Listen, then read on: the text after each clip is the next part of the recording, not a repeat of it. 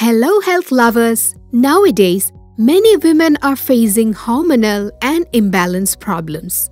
Hormonal imbalance is caused by the lack of normal production of hormones in the body. This can lead to mood changes, irregular periods, fatigue, excessive weight gain or loss, digestive problems, and many other problems. To overcome this problem naturally, it is very important to change your lifestyle.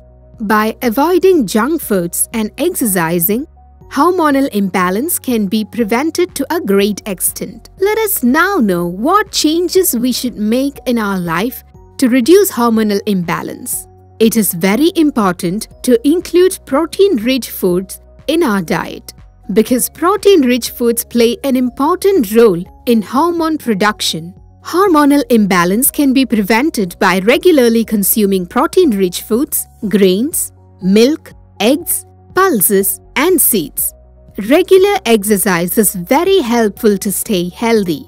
Studies have shown that it is particularly effective in maintaining a healthy weight and preventing hormonal imbalances. It is important to exercise at least 4 or 5 days a week, if not regularly. We should maintain hydrated. Drinking plenty of water improves blood circulation in the body and detoxifies the body. It helps in balancing hormones. It also helps in controlling body temperature. Studies show that balanced temperature is beneficial for hormone production.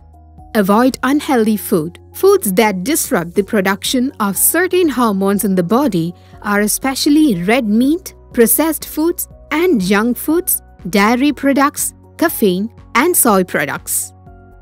These foods are high in saturated fat and hormonal imbalance. Greens are very helpful for people suffering from hormonal imbalance.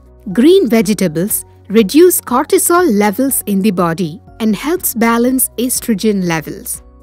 These vegetables are also good for health. Leafy vegetables are also rich in fiber. It is good for digestion.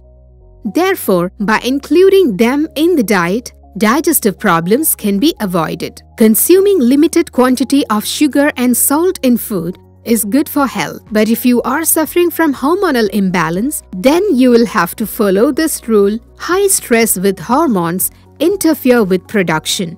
Mainly, this causes imbalance in cortisol hormone. People who are stressed are more at risk for such health problems. Stress can be reduced by meditation, exercise, and sports along with some other habits. Hormonal imbalance can be prevented by making such changes in your lifestyle. Note: The information given in this video is not a substitute for any medical treatment. And do not forget that you can discuss these suggestions with your doctor depending on your health condition.